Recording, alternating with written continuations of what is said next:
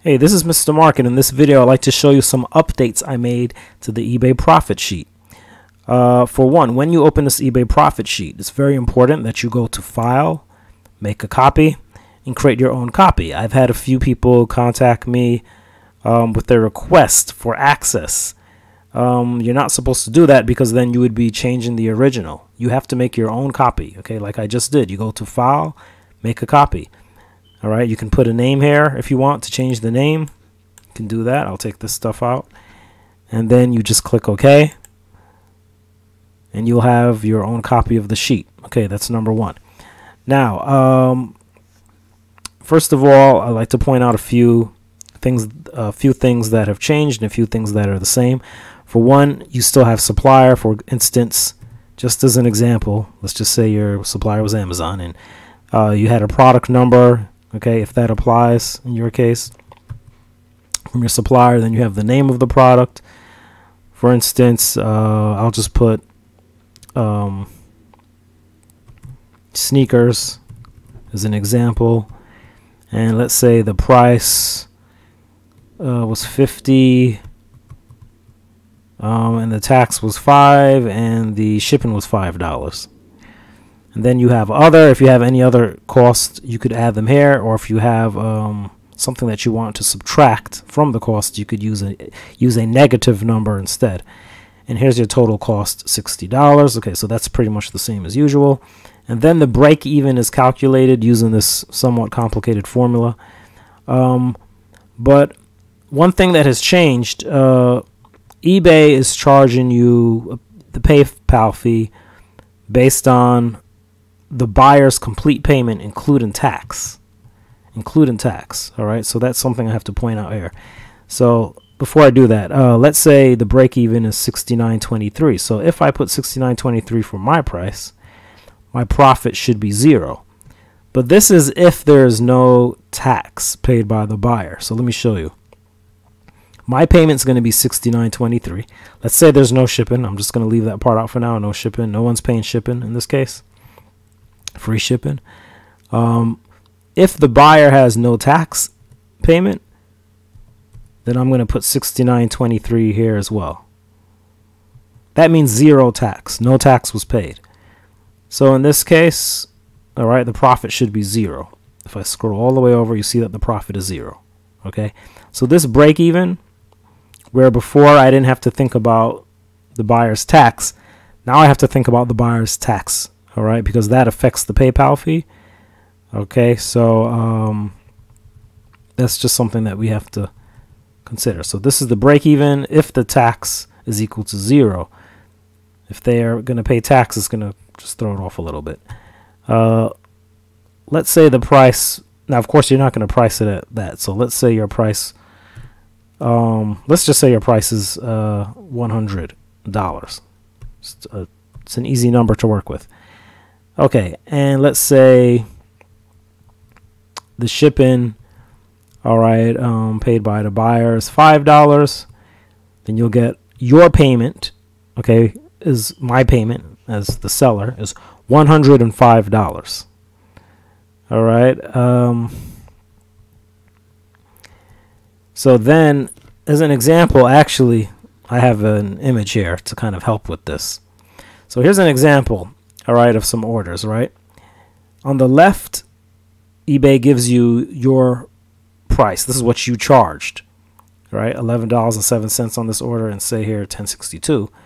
And then this is what the buyer actually paid when you include the tax. Now in this case there was no tax. So what you got and what the buyer paid is the same, but in this case the buyer paid tax. So the PayPal fee you're going to pay will be based on this. Okay, the number, okay, in this order. All right, in this case, it doesn't make a difference. It'll just be based on this. But here, they're going to base your PayPal fee on this. So you're going to pay a little more now on your PayPal fee. Uh, let me go back to this. So you'll take that number on the right, and let's say they did add tax to it. Let's say it was $5 tax you're going to have a $110 buyer payment with tax if the tax was $5. All right, but again, looking at the image, the way they give it to you is they give you the total with the tax. So you can just put that number right in here. Whoops. Go back to the Google sheet. Okay. So this PayPal fee, $3.49, is based on this. All right, just to show you, just for a little proof, right? So you take the 110 times, right, so 2.9%, that would be 0.029 plus 30 cents. This is how PayPal fee is calculated. right? this gives you PayPal fee of 349, just like you see here. right? Final value fee is whatever your fee is. It could be 10%. If you have a store subscription, you might have 9.15%. Okay, I have to put the fee in here ahead of time because this is how the break even is calculated. The break even uses the fee as well. So by default, it is 10%, and of course, you can change it to whatever you like. You can change it to 9.9.15%, for instance, right, or whatever your PayPal fee is. Okay, I'm going to leave it at 10 for now. All right, so that's your final value fee. Listing fee, um, I mean, I threw that in for people who might sell something once, right? Like if you have an item, you only have one, and you know, then the listing fee might be a thing. If you're selling the same thing 20 times in a month, I mean, um, or even 10 times, or five times, or three, right? It's, you're only paying that listing fee once, right? It's once a month. So, you know, it wouldn't really make sense to keep counting it over and over again for the same item, but uh, you would more have to look at that as a monthly cost, right? But it's here if for those uh, if it makes sense for your situation the listing fee is here, right? And it will count as part of fees. Otherwise, you can just leave it. Uh, the total fees are then going to be calculated $13.99, final value fee plus the PayPal fee. Or if you add those two, it's going to be $13.99. And then that gives the pay after fees. So don't forget, don't get these mixed up. This is your payment. This is what eBay gets, the 110. This is your payment, 105. So we're talking about the $105 that you're that you charged, right, which was the price plus the shipping that the buyer had to pay. And then we're subtracting the total fees from that of $13.99, and that's how you're getting this pay after fees of 91. Profit, and then the profit is calculated, okay? The pay after fees minus the actual cost. All right? So taking this pay that you got, this is this is what you actually have, right? That's yours to keep, right? After the fees and everything come up. All right, but then the question is, well, how much did you really make? Well, that depends. How much did you spend to get the product in the first place? So that's why I take that number and I subtract this cost, right? The total cost from the supplier. Also, I subtract the shipping that you paid to send it to the buyer if you paid shipping. In this case, I left it blank, all right, for simplicity, but but it does work. If you put a number there, in fact, oh, just to show you, and you've probably seen this before if you've downloaded my uh, sheet before, all right, you'll see that that will change the profit, right? The profit number will change uh, if you pay shipping, right? Okay, put that to zero. Okay, so that's how that works. Uh, two things I added um, one is markup, percent of cost, margin, percent of sale. Okay, so markup meaning what percentage of what you spent to get the item, all right, did you make in profit, right? So you take the profit of $31 and you just divide it. It's just divided by the actual cost, right? So it's like I made about half of the item, what you know, whatever the item costs, it's like I made about half of it in profit, right? $31. It's about half of 60. Margin, on the other hand, is percent of sale. So we're looking at, okay, what percentage of the actual payment that I received, right? So what, if you take the profit and you compare it to the actual payment that you got, that you received, the $105, what percentage of that actual payment, you know, did you get? That's your uh, margin, right? Which is a good way to um, kind of evaluate um, and kind of predict uh, how much money you're going to make. If you know that you do a certain amount in sales and you know that you have a certain profit margin, then you can kind of calculate how much you're going to make. Okay, so um, so you can basically use this item by item either to predict or you can use it to record as well the profits you made all right on individual orders right? So there's different ways you could use this. Um, this is another thing I added this eBay item number. Um, basically the idea is that if you have an item let's say let's pretend this is the item from the first row all right every item has an item number. If you go down on the listing I'm going to take this right click copy go back here use control V to paste it and there's your item number. And this formula okay creates an automated link to that item such that when you click that link it will bring you straight to the listing for that item. All right so just a little additional uh, thing that you can use to get back to your item if you want to view your item all right um, after recording your data or whatever you uh, plan to do with this. And um, that's pretty much it. I mean, I have a lot of other uh, empty rows here. Okay, being that it's a Google Sheet, I try to provide a certain amount of empty rows that you can use.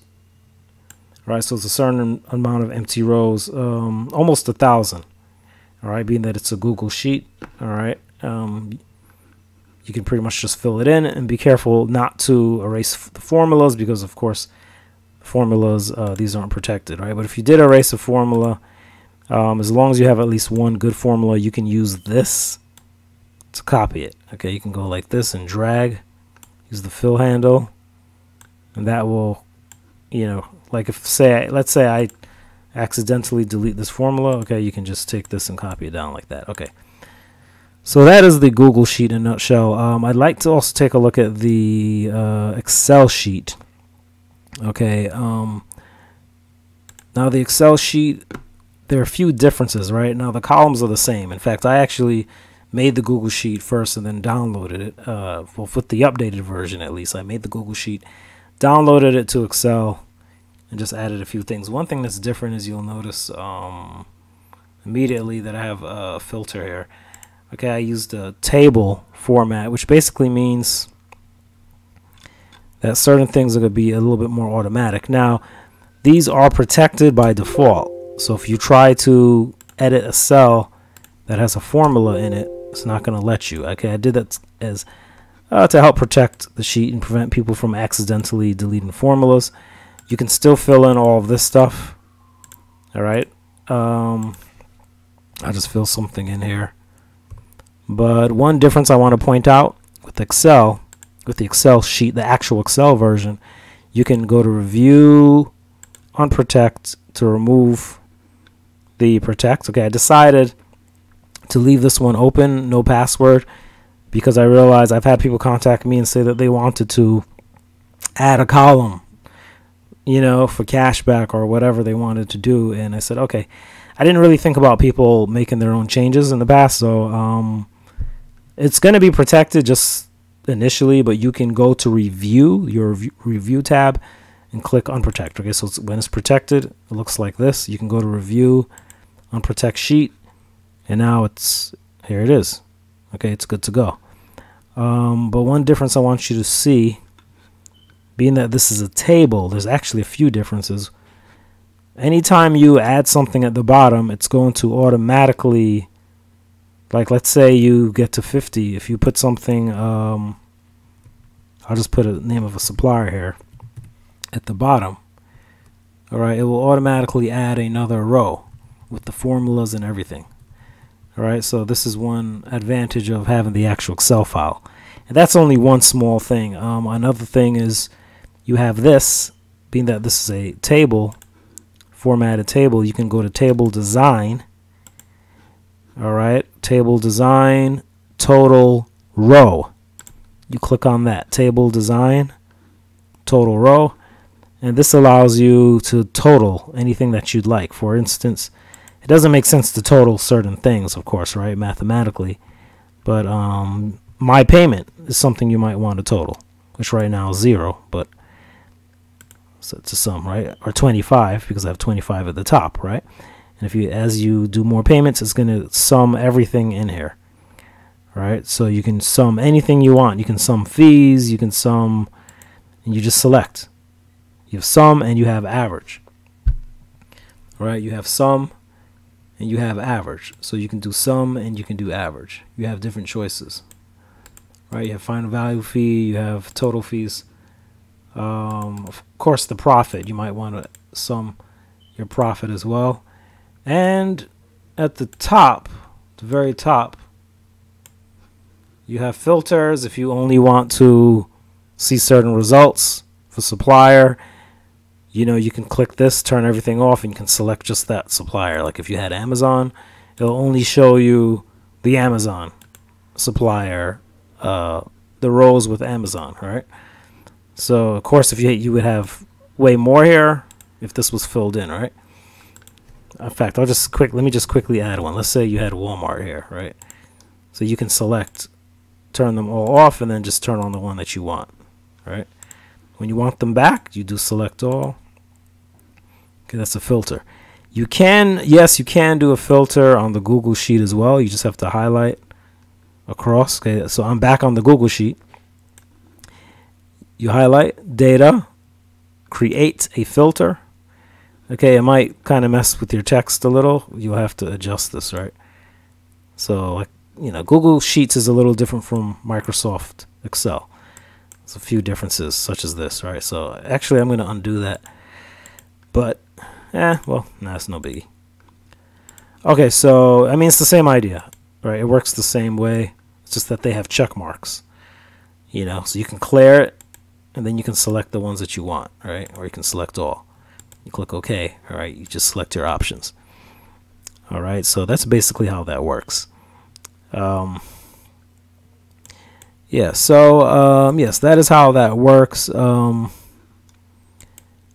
as usual I have the eBay fees here the PayPal fees breakdown just so you understand it all right and so these are some of the updates um, so I will or perhaps um, if you're watching this video I by the time you watch this video I might have already sent out a link uh, to this new updated version. But one thing I, I mean, I just really have to point out again is this thing with the tax.